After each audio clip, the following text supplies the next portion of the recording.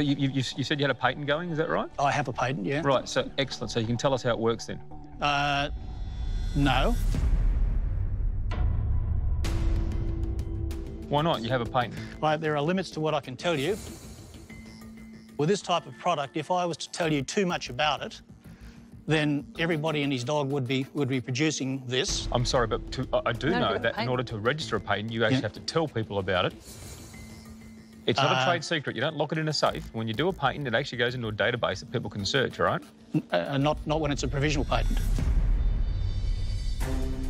Dave, so right now you're telling us that you're not going to tell us how it works, but you want us to invest in it? Yes. If you have patent protection, you have patent protection. You're fine. That's you're fine. You are you are covered. So un- unless we can discover more about it, unless I can Yeah. discover more about it in the next 30 seconds, I've got an answer for you real quick, David. Yep.